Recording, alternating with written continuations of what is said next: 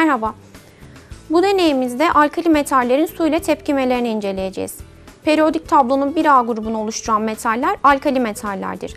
Alkali metaller yüksek aktivitelerinden dolayı doğada serbest halde bulunmazlar.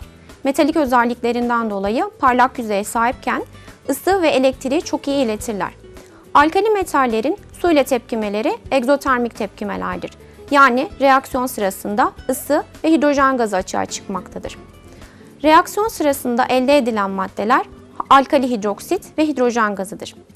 Bu deneyimizde sodyum metalinin su ile tepkimesini inceleyeceğiz. Bu amaç için bir miktar sodyum metali, hegzan ve fenolftalein indikatörü kullanacağız. İlk önce gözlüğümüzü takıyoruz. Şimdi deney tüpümüze bir miktar su ilave edelim.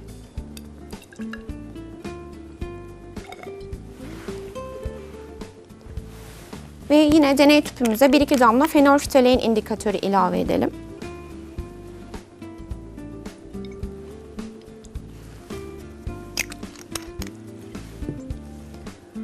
Aynı test tüpüne bir miktar hegzan ilave edelim.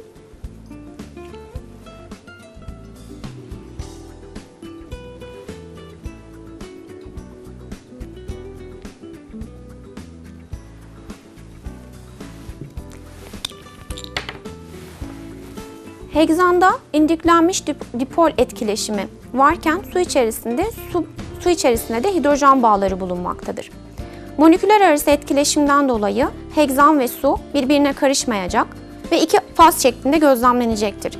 Yoğunluk farkından dolayı da su alt fazı oluşturacak, hegzan da üst fazı oluşturacaktır. Şimdi test tüpümüzün içerisine küçük bir parça sodyum metalimizden ilave edelim.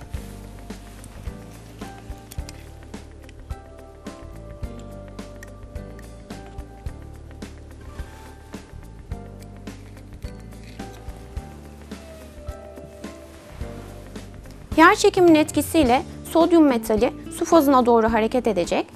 Su ile sodyum reaksiyonundan dolayı egzotermik bir reaksiyon gerçekleşecek ve hidrojen gazıyla ısı açığa çıkacaktır.